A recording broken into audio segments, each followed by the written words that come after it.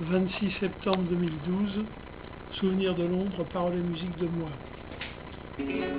Depuis l'observatoire des transports londoniens, je me tiens attentif aux promesses de la nuit.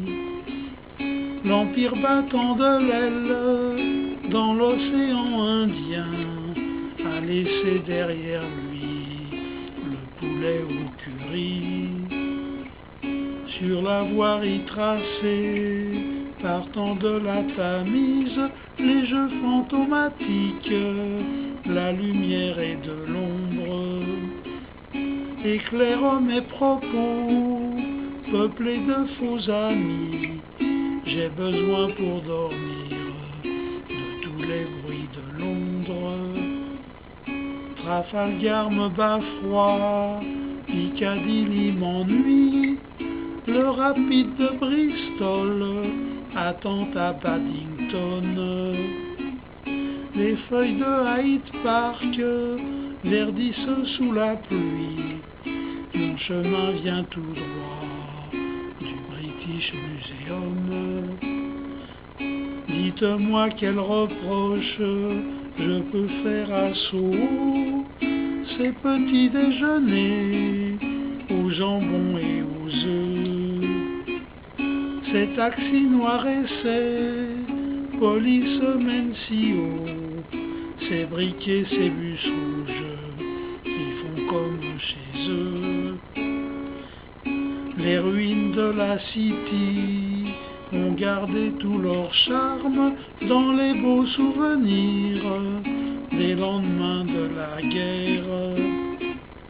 Un glacis d'herbe folle couvrait Bricklayer Arms, qui était une gare et non pas une bière.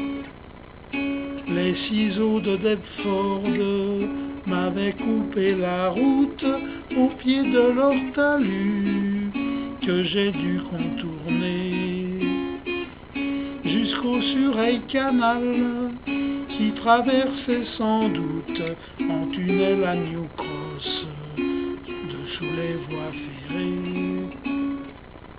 Ma jeunesse s'était divertie à Poplar au prospect of Whitby se reflétait dans l'onde à l'exception de jeux accoudé seul au bar, le décor des matelots de toutes les mers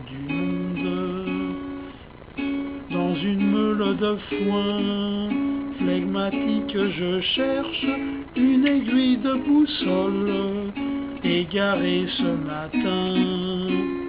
Le décor composite où les mouettes se perchent est mangé par le brouillard il avait un peu faim.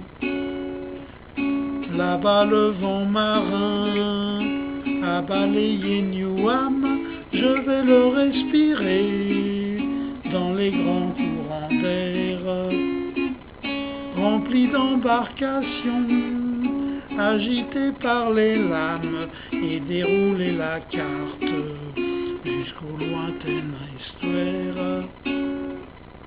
La Tamise à Woolwich, c'est l'entrée des artistes sous la lumière froide du rideau de ces brumes. Les cargos pleins de morgue, dressés sur les eaux tristes, à savoir soupe anglaise, un brouet plein d'écume. Mon verre a été grand mais j'ai bu dans mon verre, j'offre à boire à tous ceux qui en ont fait autant.